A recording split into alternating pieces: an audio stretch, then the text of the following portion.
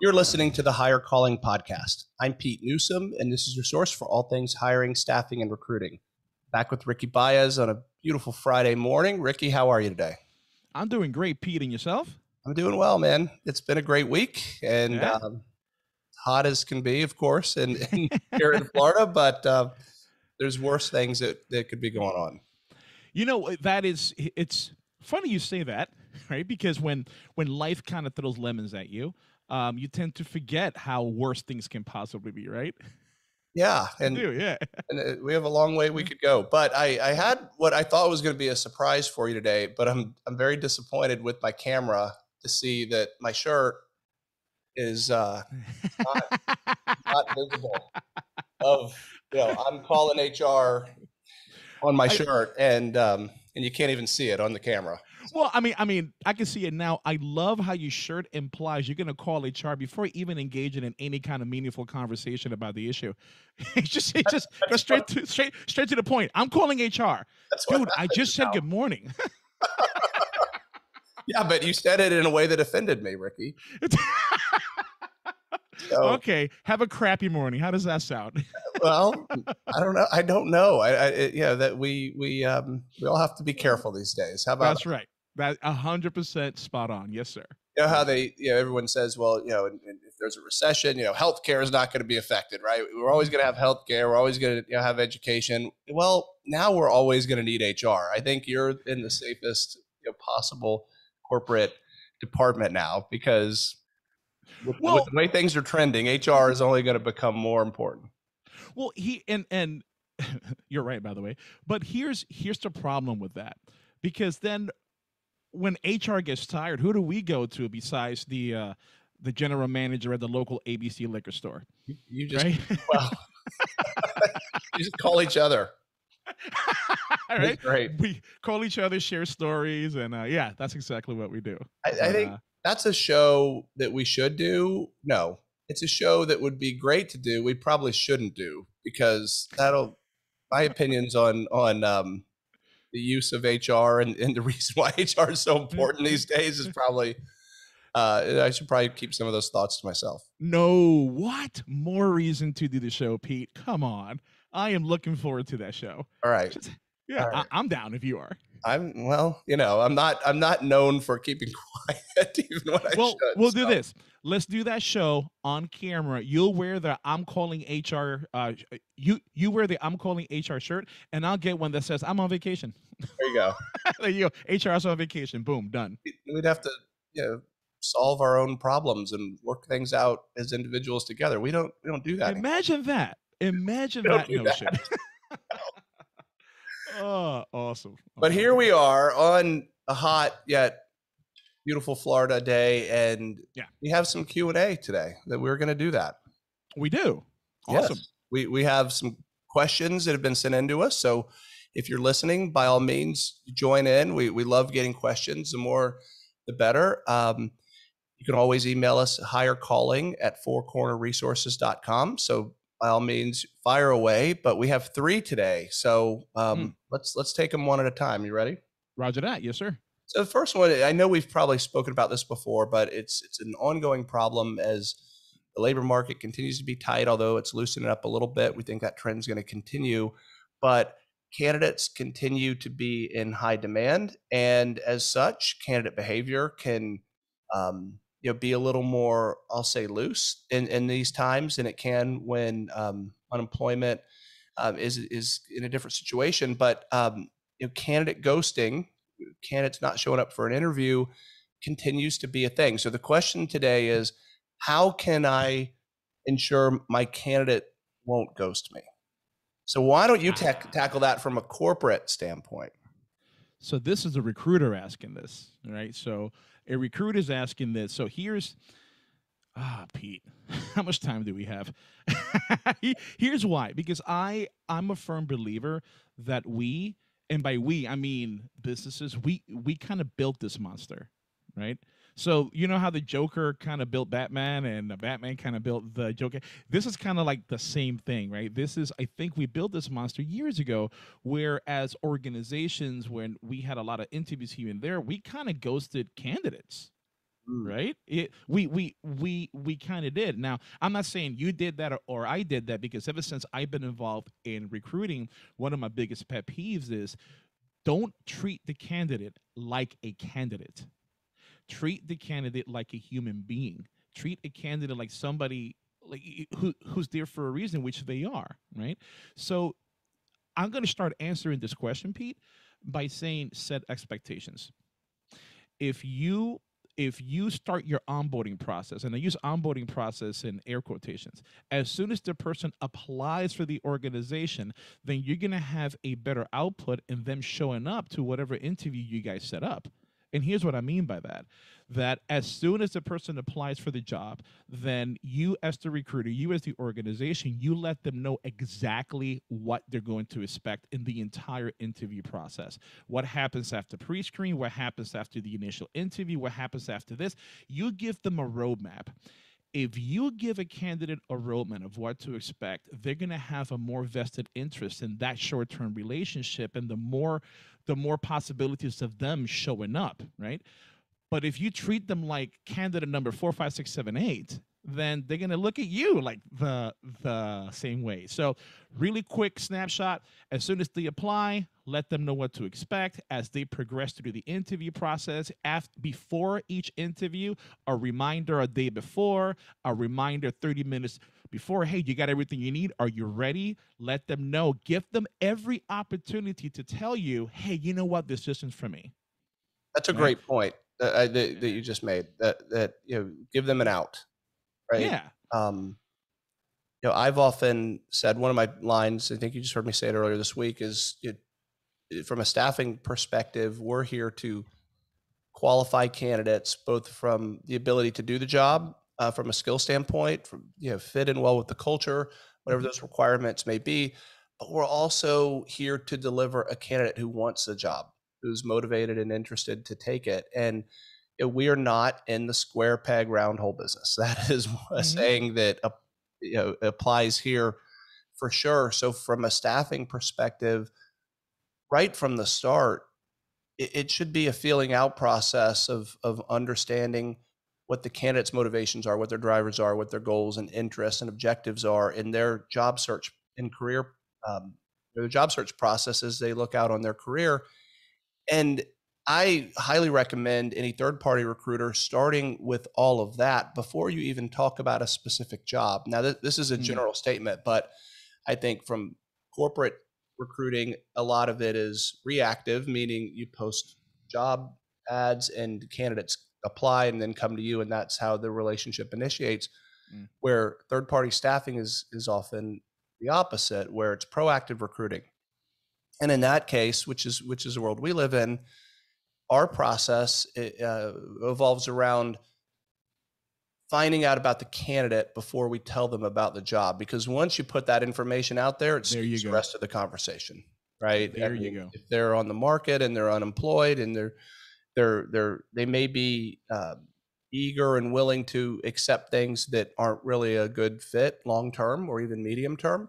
Um, and you don't want to do that. I mean, no one wins long you know, in that situation. So um, always start by understanding the candidate's interests anytime you can, and and then you know that'll certainly lessen the likelihood that that you know the ghosting will happen, and continue as you said. It's such a great point to assess along the way and look for um, what what we call red flags. You know, Mhm. and, and they could be subtle, and you got to be direct about those things. Hey, Ricky, I asked you, um, you know, about your availability to interview, and it seems like you're finding, you know, having a hard time coming up with with with a time frame or or times that fit. I'm getting the impression you're not that interested Yeah. in this job, or you're not as interested as you were. Uh, you know, let people off the hook. Situations change, you know, that, and you have to be um, willing to pay attention uh, to those and and act when you when you sense that that interest uh, by the candidate may be waning. you know we were we were at a meeting yesterday with the entire company and you said something that stuck with me that is perfect for this question right you said we should not be selling the opportunity for the candidate we should put the candidate in the in the position where they get to sell to us why why should they I don't want to say be worthy, but why should they want to come to us? It should be the other way around. And if you position it that way, and you put the candidate in a position to why why should they explain to us why they should come over here? Then they have a more vested interest in that opportunity right? Because if you position it that way if people jump ship at the first part of that conversation then that's somebody who is going to possibly ghost you later on. Yeah i mean like right? anything in life don't make it too easy. You know if, yeah. if it's easy to get in it's easy to walk away. And we when staffing is done right, and this is this is my very very strong professional opinion on this, um, the process of deciding whether the job is a good fit should both be mutual by the recruiter as well as the candidate, yep. and thorough. So be don't don't be quick to send a candidate to um, to interview because yep. it has to be earned, and as a recruiter, your obligation should also be to share as much information about the the role prior to the interview as you possibly can, so you get all the potential bad out of the way. I mean, that's how I think of it, right? Like if we let's put all that up front. If uh, let's say the job you know doesn't pay quite as much as the candidate would otherwise want, mm. or the hours are um, unusual, or the commute is long, or whatever it might be, anything that's potential negative don't hide those things. Put those yeah. front and center. And out there. Yeah, out there early and often. And my view has always been, or my, my way of thinking it, of it is, if you eliminate all the bad, you're only left with good, and that should yeah. be the goal. So by the time the interview is set or an offer is made, it's not a question of of whether the candidate's going to ghost or or not accept, um, because you've already you've already taken care of that. It should be a celebration right? An interview scheduled. This is a win. Everyone wins together. At, at, you know, and, and same thing with a job offer. So, I think recruiters too often want to keep the process moving, want to keep the candidate going forward, and want to hear a yes, but that may a no is often not the answer you you want, but it's the answer you certainly need, and you want it as soon as possible. now, yes. So now now that's from the recruiter's perspective let's look at this from the candidate's perspective. So I'm speaking to the candidates directly. If you're not feeling a job, if you're not feeling a, you know, after after you apply and you interview for the first two times and you got two more interviews to go, you feel good about the position the first two interviews. The last two, you're like, I don't know, I don't know if this is the right thing for me. Make that call, candidates. Call your recruiter. Say, you know what? Thank you for your time. I'm realizing right now this is not something that I want. Obviously, the recruiter is going to want to know why. Let them know why. But if you pick up that phone and you call, or you send a text, or you send an email, let that that recruiter know, thanking them for the time. But this is not for you. They're going to appreciate that.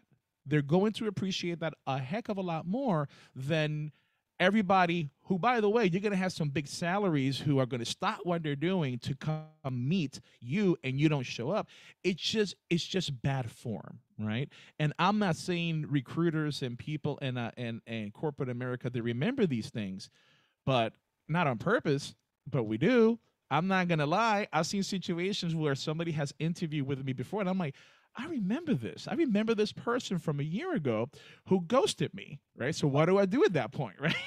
so people remember. So just make sure you leave a really good impression, and it's just it's just good business practice. And it's it's an easy thing to do. Mm-hmm. It, you know, even yes. if you don't want to make a live phone call, um, it, it, you know, there's no excuse for not yeah. delivering that message in advance in writing if, if you need to. Go on zengig.com, go to our interview questions section. You, yes. you actually have templates out there that you can co- copy and paste and use to decline an interview, but don't ghost anyone. Um, it's just not worth it. The reputational hit, and you never know how that's going to come back. It's around the world.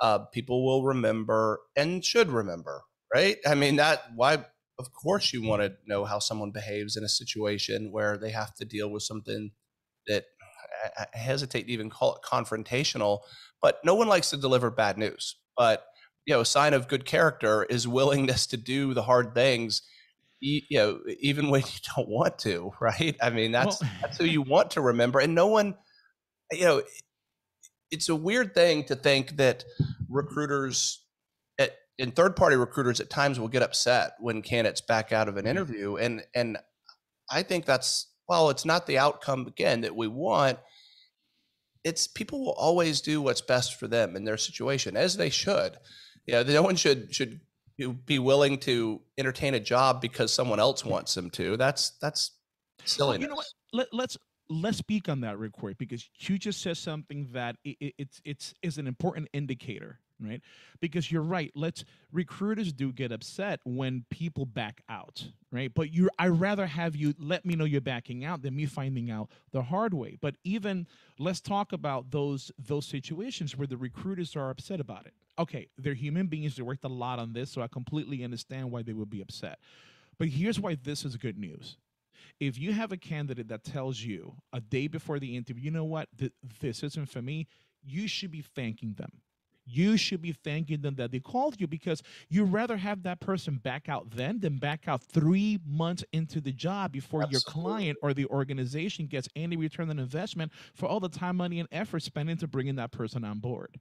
absolutely So, yeah, it hurts. That's fine. Let's deal with it.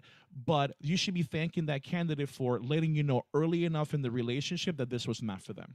another one of you know the things that I've learned and really have ingrained um, and try to share with our my team over the the years that I've been in recruiting is bad news early is good news. So Absolutely. and it's not going to be a good fit for the job. Or it- it- let's find out on the first phone call. If not the first phone call, the second. If not the second, you know, before the interview, after the interview, you know, it, as soon as possible.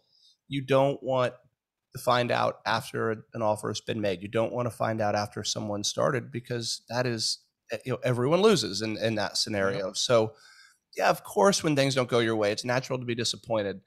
Um, and and to that point, recruiters need to check their own behavior with that and make sure that they're not um, you know, expressing frustration, anger to the candidate who doesn't who doesn't deserve it. Right now, you may deserve it if you go someone. That's yeah.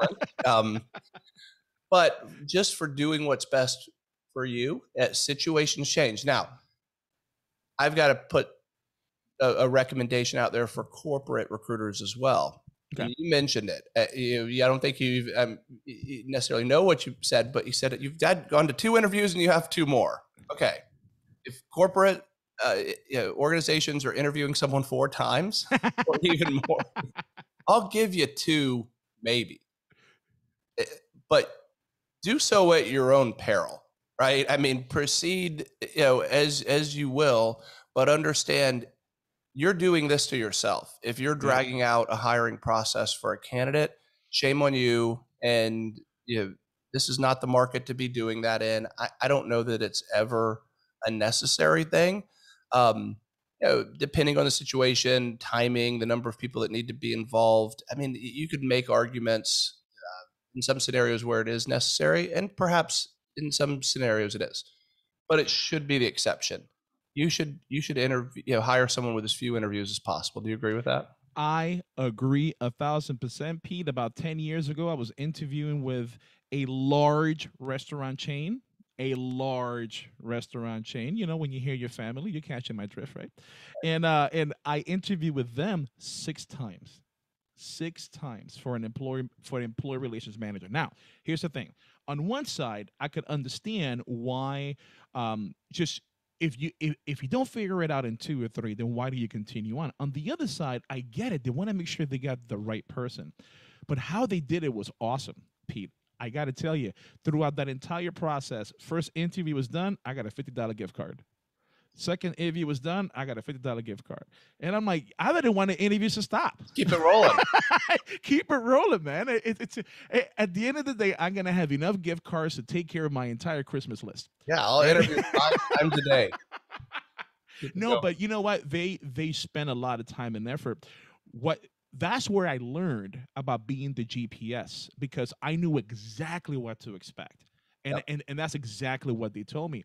And being you know being in that position in the other side of that table i also know how it feels like when you interview and you think it went well and you think it's the last one and the next call is going to be the offer and that phone rings you pick up yeah did i get it? Yes you got the opportunity to interview again. Can you come back next week? I'm like oh my god it's been five times. What are we doing here? Uh, so so i get it from both sides. I do. But the the salient point and, and the really important one um, of of as, as much as anything we've talked about so far is communicate up front get it all up front early. It, it, this matters for um, you know the what the job is whether whether there's some some negative things about it. No job's perfect.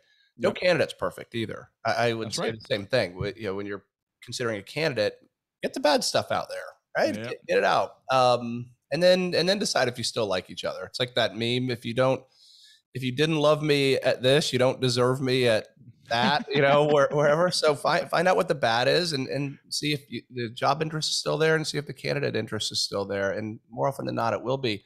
No one likes surprises at the end. No one likes surprises when it comes to finding out there's one more interview. So it applies there too. Say it all up front. And if there's going to be five interviews the, the company is um, committed to that process. They've decided it's important to them. As long as they acknowledge they're going to lose some candidates along the way it's still worth it. That's fine.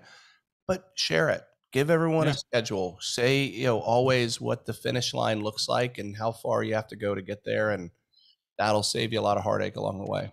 Absolutely. Absolutely I, I think we knocked that one out of the, out out of the park pete. We just solved ghosting. It's done.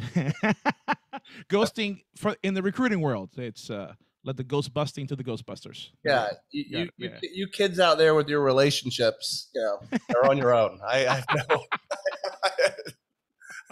Um, you kids out there with relationships. Why do you sound like you're trying to yell at kids to get off your lawn pete? I mean well you kids and your relationships. Well, because I've never um, been out there in that situation as an adult. So, you know, my, my wife and I met each other in school, so I have no, I have no value to add in that area whatsoever. Thank roger that got it Um, I feel very fortunate that I don't. Um, awesome all right, question number two. yes I'm having a hard time. Not me. This is a question. I may be. Maybe I'm having a hard time. I don't know. I'm, uh, but our um, one of our listeners is having a hard time increasing their LinkedIn network and want to know some advice or tips on how they can grow it organically. So, what what say you to that? let's first define what organic organically means in this realm right? Um, so organically meaning that you don't pay for for ads you don't pay everything comes based on the work you put out on linkedin. So this is something i really truly believe in and really truly care about. I know you do as well pete because it's it's it's you like me realize the value of linkedin if used properly right so we first have to understand how the algorithm of LinkedIn works. Now, by no means am I an IT professional, but I do happen to know how the algorithm works. And it works like this. The whole point of LinkedIn is social media, but for business. It's Facebook, but for business. So whenever you start putting things or producing content or liking or sharing content or engaging in comments of a specific subject, they te- the algorithm tends to put people with like-minded um, uh, ideas onto your page and vice versa. So here's what i tell people. Like and share and comment. Engage in conversation as much as possible in an area you're interested in. Not only that produce content whether it's doing little two minute videos of what it is you're passionate about about the specific subject that you want more people to come at you at um, and throw it out there. What's going to happen is when you produce content and other people like and share and engage in you with that content you're going to come up on their feed when you come up on their feed their network is going to see what you're liking and what you're sharing. And then they're it, it's like a i hate to call it a disease but it spreads right? But what i'm saying is the best thing you can do is to produce content on a consistent basis maybe once a week. Start once a week start producing that relevant content and start sharing start tagging people so they can be engaged in it. The more you do that the more people are going to start following you now if you're looking, if you're a recruiter looking for candidates, the more a candidate sees you or a client, the more a client sees you active on LinkedIn from a recruiter perspective, from a staffing agency perspective, the more they see that, it's like McDonald's, right? You don't go there every day, but the more you see it every day, the more you recognize that brand. Right. Right. So you want people to recognize you as that powerhouse in that recruiting realm, and the only way you're able to do that is if you're consistent and you're and you're producing relevant content on LinkedIn. It's it's it's really good advice. Like anything else, um, if you want to have success from it, you have to put activity towards it, and mm-hmm. it does require some effort. I think a lot of people are naturally intimidated by putting out public comments. Yeah, there's those who do so at the, even when they shouldn't, and and yeah. Yeah, we see that on Twitter very often. We see it on LinkedIn, um, but I think there's the bigger you know, group of people that uh, are hesitant to share their opinions. They they don't you know it, it's easier to keep quiet than to risk any backlash or mm. negative comments. And unfortunately, you know, in our divisive society that we have right now, there there's a lot of of that, right? For every every comment, and I you, we all see it on LinkedIn where someone makes an innocuous statement and and someone someone else has issue with it, right? Like you know you shouldn't be nice to everyone at work. so I don't have a reason why that's not a good idea or whatever.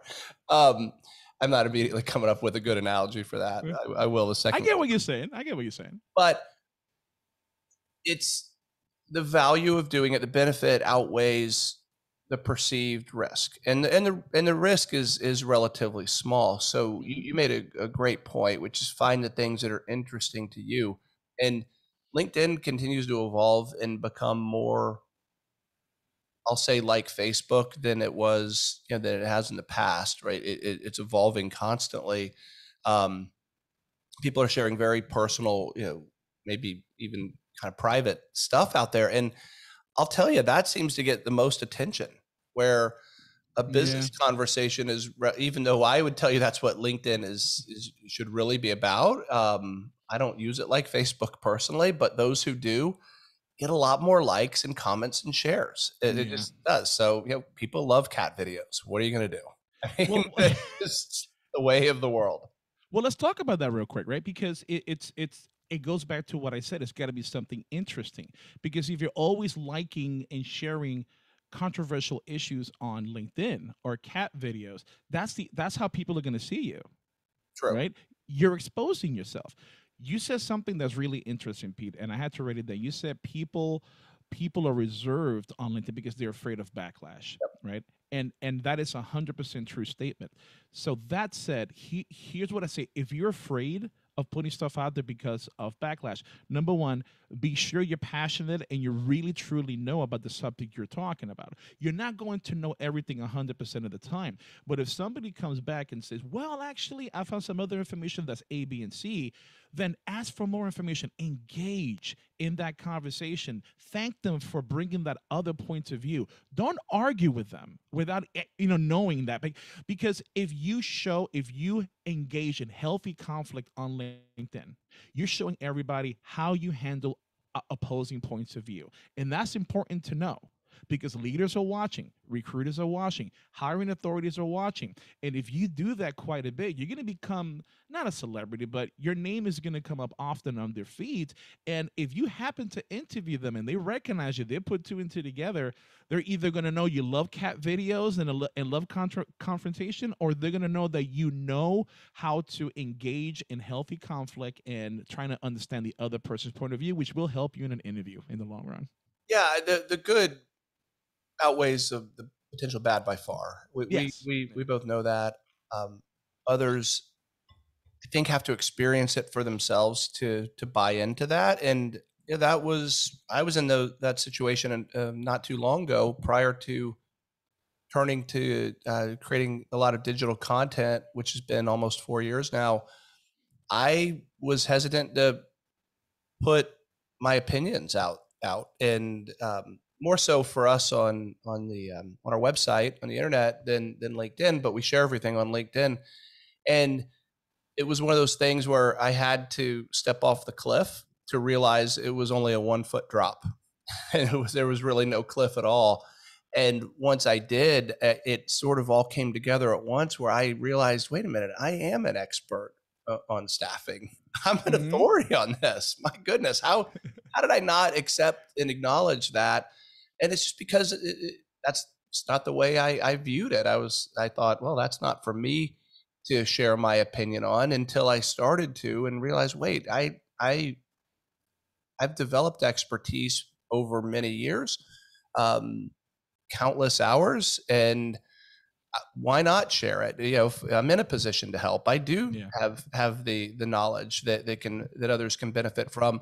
And once I started to share that, the feedback was nothing but positive. Well, I won't say nothing but positive. Um, my views on Bitcoin that I've shared aren't aren't uh, always received um, in, in the best light, but that's okay. To, to your point, it's something that I believe in. It's something I'm willing to be challenged on, and I don't mind um, having those discussions. So um, I, I would recommend if you have extreme views that are you know are controversial, you may want to keep those to yourself or find a, a channel to share those in that's not LinkedIn and maybe even under a pseudonym. know, so proceed with caution there. But uh, the the message that I want to share on this is just start doing it. Put you know, your toe in the water. Make make you know comment on things. To, you know, don't look to be controversial, but look to be engaging. And um, once you start, I think you'll realize the water is warm, so to That's speak, right. and it's not that scary. It, it, it's and and that's how we should leave it. Just dip a toe into it, keep trying it, eh, but the key is consistency. You've got to be consistent with it because the algorithm responds to how often you are commenting or producing content of the same kind of nature. And yeah, it'll spread the word for you. Consistency is key. So I'll, I'll make it, I'll, I'll say one last thing on this to make it really easy for, for everyone listening. If you want to uh, find ways to be engaging in the world of, of staffing or anything career related, look at the content that Four Corner Resources and, and ZenGig now puts out on our LinkedIn pages and share it and make a comment or just reply to one of our articles that we put out there. And it's okay even if you want to challenge it or we post our podcast videos and, and um, or our podcast, I guess. Comment. Tell tell us, hey, I, I I don't necessarily agree with you guys on XYZ and yeah. we'll engage with you on it. And and that's that's all part of the deal. Once once because now we're putting out our opinions on these things and you know, we understand and, and accept that not everyone's going to agree and that's okay. Um, so that offer is out there now. If you want That's to right. comment on our stuff, we'll uh, we'll engage with you and help help boost you even at our own uh, expense. Boom! Look at that. We're helping even when we're not helping. There, Pete. All right. Last question. All right. Today. What do we got? This is serious. So so okay. bear bear with me on this. This was sent in um, by someone um, last week. Oh, great. Here we go. And I think you've done this to yourself, Ricky. I got to be honest, but here it is. Uh-huh. This one's I'm pretty sure is directed at you. How do I cook the perfect ribeye steak? I can't believe I just read that out loud. But that's the question. How to cook? Are you serious? How to cook the perfect ribeye steak? That's, it's written down right in front of me. I, am reading from the paper. Yeah. hold on, hold on, hold on. I gotta get ready for this one. Are you stretching? A little bit. Let me stretch a little bit because this is serious. You're not. You're Very not joking. few people watch these. It, this this is what we're like 40 minutes in on, on, on YouTube. No one's seeing you stretch. So if you oh, well be listening, I'll tell you he's stretching. He's I'm stretching because this is serious business right here. Pete, I've been doing HR for 20 years, and I love what I do. I got a passion for it, but I have an equal passion, if not more passion, for barbecue, for a good good steak. So I am so happy this question came up and I'm excited. I'm getting giddy. I need to control myself. A good steak, folks, it starts. It starts with the perfect marbleization. The perfect marble. What does that mean? When you go to Winn Dixie, when you go to Walmart, when you go to Publix, wherever you go to your local butcher shop to get your steak, you have two kinds of steak. You got the one that's 100% red, right? Really lean, there's no white in it, meaning there's no fat, and there's some that has really good fat in between. That's the one you want. You need fat. Look, if you're counting calories, get away from steaks. Okay. if you're trying to cut out fat, steak is not the a ribeye steak is not the uh, the uh, the uh, place for you, right? Now, here's where people mess up, Pete. They season the steak with all these different things when they're cold, and they throw it on the grill when the steak is cold. Big mistake. That is the best way to make your steak tough and hard and really hard to chew. When you throw it on the grill when it's cold. Here's what you do. God, I'm so happy this question came up. so because I'm I- gonna do this as soon as we're done. I have nothing to contribute. I'm just listening. Oh no, dude! You, play this back later on tonight when you're grilling out. Your family's gonna love you for it. All right. So look. So when you get the steak, you season it with two things and two things only, Pete. Just two: fresh ground pepper, fresh uh, ground salt. That's it. None of that other stuff. None of that other um, uh, uh, uh, crazy kind of stuff that's out there. As simple as possible. The steak and the good marbling in there has enough flavor. But if you salt it a little, you know, salt it quite a bit, not a little bit, quite a bit, and uh, with uh, uh, uh, and pepper, it'll be perfect. The steak should be for a good, good steak, inch to an inch and a half thick. So all the marinades, throw them out. I I I don't deal with that. I don't deal with marinades. Okay. The only way I deal with marinades is if I do a skirt steak for tacos and stuff like that. But a ribeye, no, not not not the not not the star of the show. O- okay. no, absolutely not. Oh, and I got to say this: if you buy A1 with your steak, that should be illegal. Boy. That if I ever become look at you, you like I use A1. if I become president, one of the first things I'm going to do is I'm going to outlaw A1 steak sauce, and that should affect your credit score. it really should. do you like A1? Um, I do. Yeah, Yeah, a lot. on on a ribeye. Oh, Pete. I don't. I don't know that I would make uh, uh, made ribeyes at home. At home. Okay. so- Gotcha. But yes, I like A1. Oh no, not not you know, save that for your uh for your lower end cuts, man. But Okay. not not not for the ribeye, right? Okay. So you season it, salt and pepper, right? And then you let it rest at room temperature for 45 minutes to an hour. Let it rest. Let it relax. Let it come down to heat up to room temperature. Once you hit 45 minutes to an hour, throw that bad boy on the grill. Now the grill has to be insanely hot. Right? Bring it all the way up hot and be careful because why? Because when that fat starts to melt and it hits the fire, it's gonna add fuel to the fire, and you're gonna have what I call the kiss of the devil. That flame come up, right? Yeah. and that really puts that char on it. You put it on one side for a minute and a half to two. A minute and a half to two per side. That's it. Here's that's it. I like my steak medium. Medium. So medium I'm starting to Uh, see the error of my ways with a minute and a half. you see? to two. Now- yeah.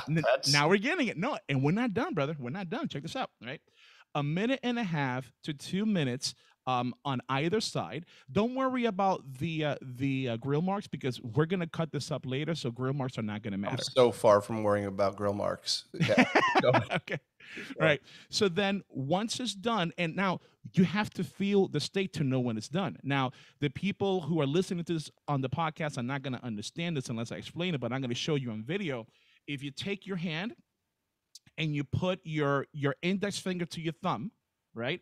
And then push them together, and then you you touch the meaty part of your thumb, that's going to be really soft, right? Yep. That is that is the consistency that steak needs to be for it to be medium to medium rare, Okay. right? That's soft.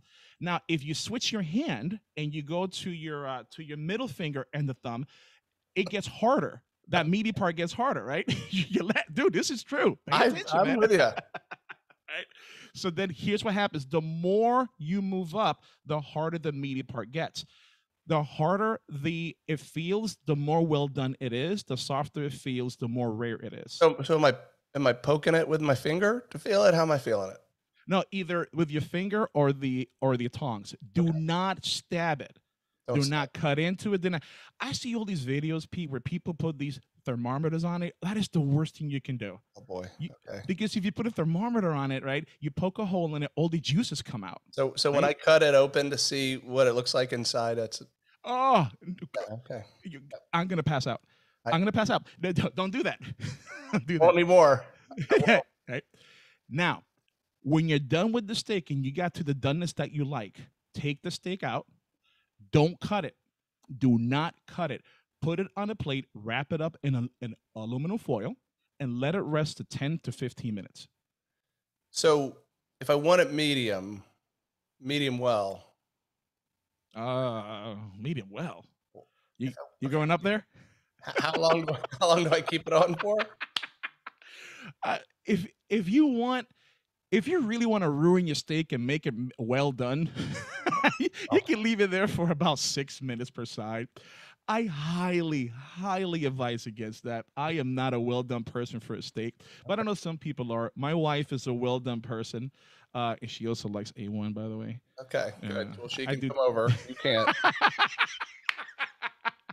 so dude so so then yeah i like a medium right i like how it's called pittsburgh burnt i don't know if you know what that is or everybody knows what that is i learned this in the restaurant industry pittsburgh burnt means that is charred on the outside but pink medium on the inside. I, I I would I would call that ruined. No, that's not no. Oh no man. Now, if That's- it's done properly okay. it's So if I go for two and a half minutes, you're looking more it's if you if you've done the proper prep and you left the steak um, uh, for 45 minutes to an hour resting outside of the fridge out in the uh, in an in a uh, regular environment two and a half minutes or more you start to looking at the well medium well well done range wow. Okay, medium I- medium well, well I've been overcooking steak forever. No it's so so but but the key is pete it's you got to let it rest because if you cut into it as soon as you're done the steak is still in that state where it's hot all the juices are here and there it doesn't relax right you Okay. got to let it relax right? We want it to relax. We don't want to stab it. We want it to No. rest. There's a lot of rest. there's a lot of. I see why you needed to stretch now. oh i'm not done i'm not done well, okay. Then yeah once it's done take that steak out you've got to figure out where the grain is and you have to cut it against the grain because if you cut it with the grain what you're doing you're cutting along with uh, muscle tendons right? And it's not going to be as chewy right? But if you cut it against the grain when you got all these different tendons there it gets nice and and and uh, and uh, it- it just cuts like butter. And it's such an amazing experience you know not to be ruined with a1 steak sauce. Then here's what you do right? You cut it open maybe season it a little bit more serve it with some roasted potatoes onions or um or uh, mushrooms that you cook aside with a little bit of brandy and cream. Oh man you're gonna have an amazing night. That's it. amazing night. Yes yes that is that is my saturday nights my friend. Okay. always in the back. You've given you've given a thorough a thorough answer, and We're gonna have to do a video. We got to do. It. You're gonna have to come over. We're gonna do a whole higher calling podcast, right, on how to cook the perfect steak, Yeah, I, and then I- people I get to help. watch us eat it. I need I need help. Clearly, this is good. I'm gonna I'm I'm, I'm inclined to try. Now That's I a great question. well.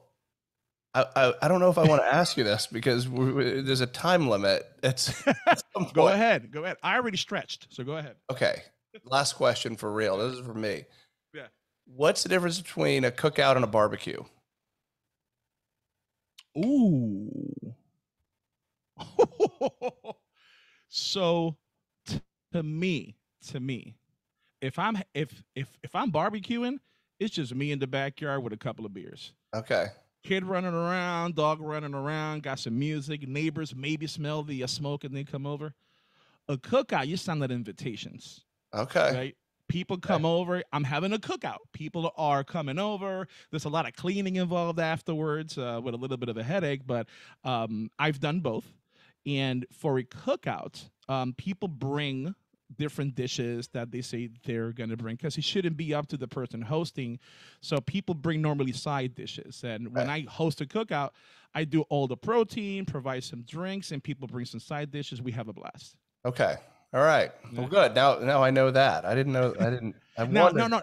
Now that's my definition. That is not sanctioned by the Barbecue Association of America, which is a completely made-up association that I just did on the spot right now. But that is totally my opinion of what a cookout and a barbecue is. All right. So what we've learned is if you put that opinion on LinkedIn, you'll find out how accurate Correct, you are right. So when we post this on LinkedIn, we should act, we, should post that question: What is the difference between a cookout and a barbecue? We're And gonna have like, to. Well, our "What are you marketing team, about?" our marketing team will, and it's gonna be really weird, and and they're they're gonna they're gonna have questions for me after this. "Oh, So, it- you know what? They're gonna have questions, and the number one question is, when are we doing this for the marketing team? Okay, that's, well- that's what that's what they're gonna ask, and I'd be happy to cook for them. they, they that will probably be their second question after what the hell were are you doing on the higher calling podcast? So Oh, we're man, trying we're trying to increase. art. Well, it's it's a it's a it's a it's a risky move. Uh, you know, little, the little Top Gun, you know, reference to see is this going to help us increase listeners, or did are, are we just, do we just slide back down the hill back to the bottom, and we're having to start to climb up I- again? I don't know because I think we're gonna get more people because I'm I, I thought I was being controversial when I called out the people who like um A1. And I didn't know you like A1, so I'm sorry. It's actually you have no idea. uh, You would have no idea, of course, but that I looked in our cabinet or our pantry to grab a one earlier th- in the week, and I noticed we have a few bottles of it. We don't just have Oh, one bottle. wow.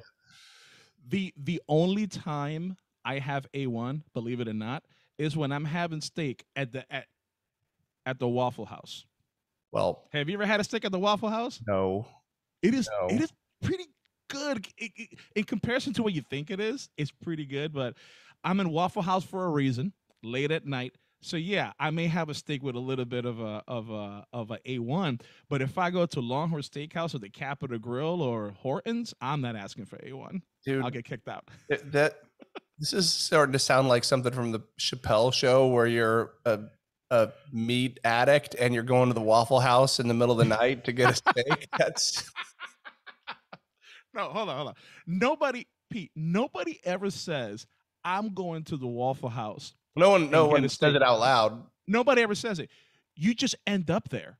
There's a big difference in going there for a reason and just ending up there. I- Huge, huge difference. I've ended up there late at night a few times. oh, me but it- too, sir. It's- been a while. That's, that's not in recent memory. I think that's where we differ. It was a reason for me neither. Now that I know how to cook a steak, right? But back in the I- day, I let me tell you. I don't believe you, and no one else believes you either. I love it. love it. Uh, well, that's how you cook the perfect ribeye steak. Folks, try that at home. Trust me, practice it. Look at some videos. It is an art form, and it's you. You are going to have the best, most tender steak you've ever had in your life if you do it that way. All right. Well, that's that's the note we will close on, and I think sir. we've proven that we actually will address any question that comes our way. So Any question. Great. Perfect. Awesome. There goes the show. So, thank you, Ricky. Uh, thank you, everyone, for listening. Drive safe. We, of course, welcome your feedback. We would love for you to rate the show. If you're willing to give us five stars in particular, that would be awesome. And email us higher calling at fourcornerresources.com and have a wonderful west rest of your day. Have a good one, folks. Good night.